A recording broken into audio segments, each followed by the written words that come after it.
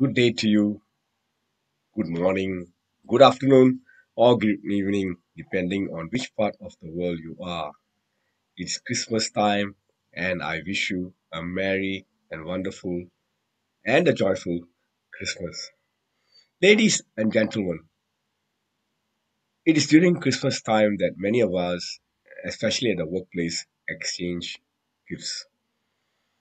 We exchange gifts to show the importance of caring and sharing. Some of us go forth and help others, distribute food or goodies, and serve in some other way to help the less fortunate.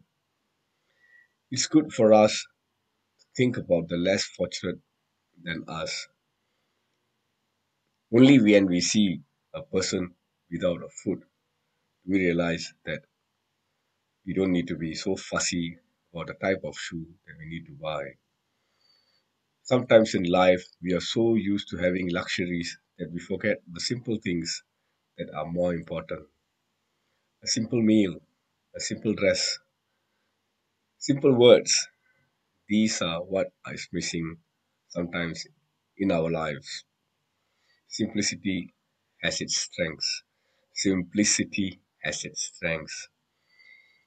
Dressing in a normal, simple way is not going to take something away from your character. It just will show that you're a humble person, that you're a down to earth person, that you are approachable. Similarly, when we are choosing food, we don't have to go for luxurious food or eat at a posh restaurant. You can eat at a simple place, a simple hawker center, food court, or better still, home cooked meal where there's hardly any MSG or any other chemicals added to the food.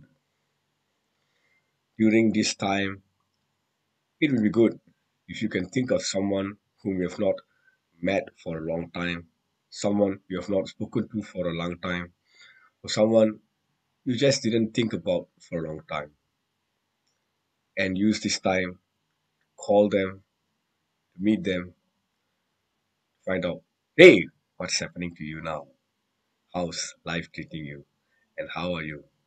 Perhaps there's something they wanted to tell you a long time ago.